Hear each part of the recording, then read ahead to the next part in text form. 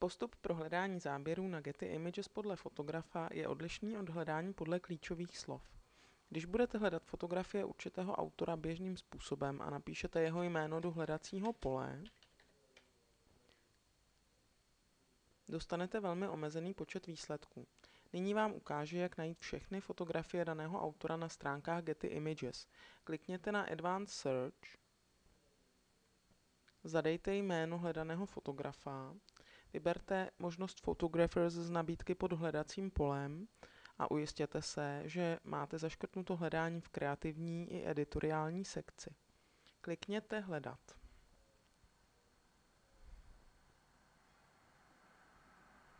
Tímto způsobem naleznete všechny dostupné fotografie daného autora.